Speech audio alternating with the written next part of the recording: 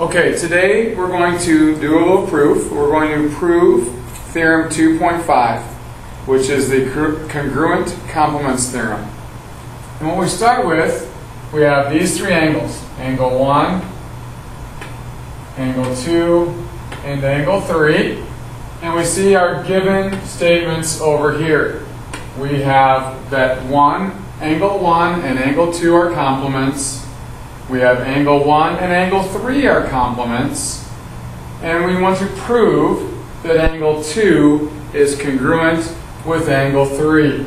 So, the first thing that we will start with is our givens. So I know that angle 1 and angle 2 are complements.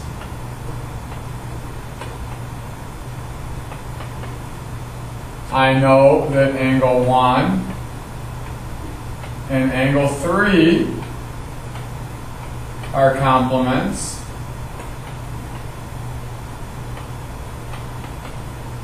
And the reason I know these is because it's given to me up here, so my reason is given.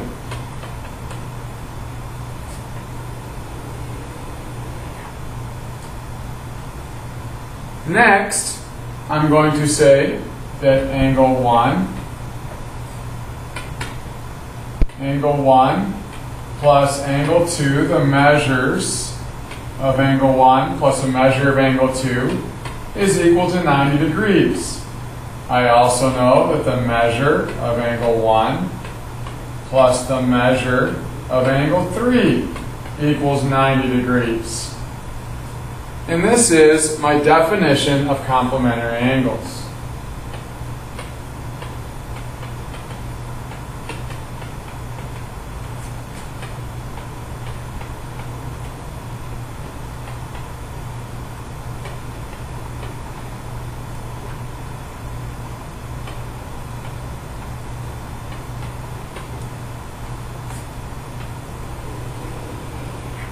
Now, look what we have. Angle 1, measure of angle 1, plus measure of angle 2 equals 90 degrees. I have measure of angle 1 plus the measure of angle 3 equals 90 degrees.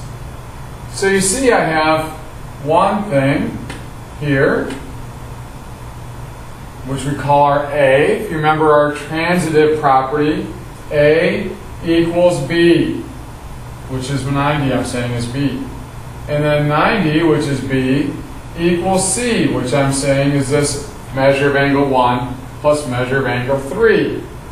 Because of that, I can now say the measure of angle 1 plus the measure of angle 2 equals the measure of angle 1 plus the measure of angle 3. This is my transitive property of equality.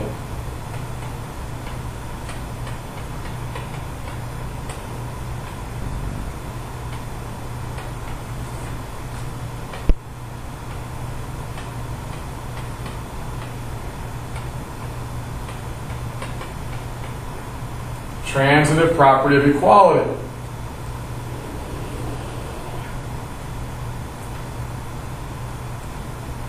Now, you see that we have a 1 on the left, and I have a 1 on the right.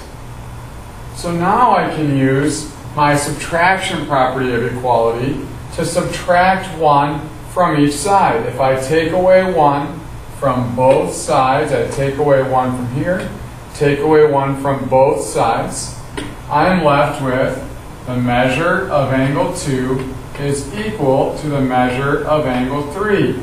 And this is from my subtraction property of equality.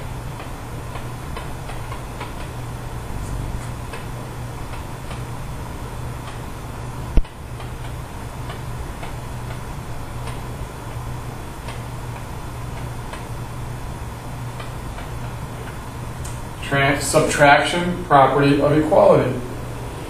Now, am I done? Not quite yet. I see I have measures are equal, but I want to see congruency. So, I now can say that angle 2 is congruent with angle 3. And this is the definition of congruent angles.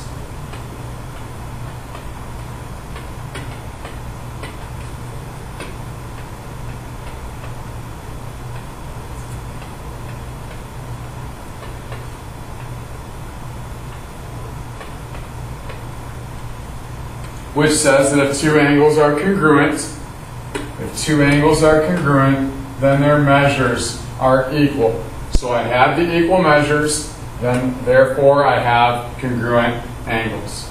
And that's our proof for the congruent complements theorem.